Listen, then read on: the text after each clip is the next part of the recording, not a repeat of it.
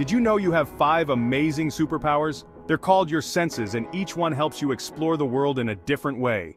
First up, we've got vision. Vision helps you see everything around you, from your friends to your favorite toys.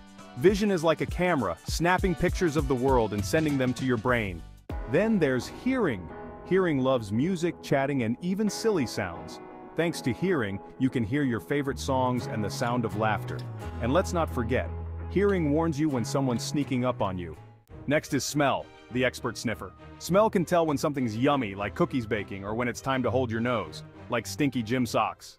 Now meet taste. Taste loves food and has five secret agents on your tongue. Sweet, salty, sour, bitter, and umami.